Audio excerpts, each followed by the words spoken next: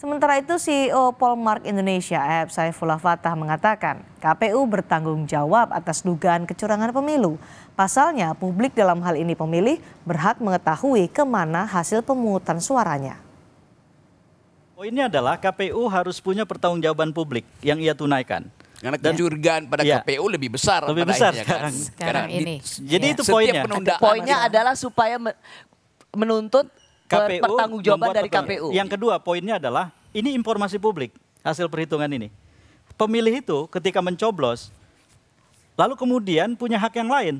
Hasil coblosannya Ya, ke mana ini? Iya. Dihitung dengan baik atau Iya. tidak gitu. Iya. Dan itu hak yang menurut saya sangat dasar.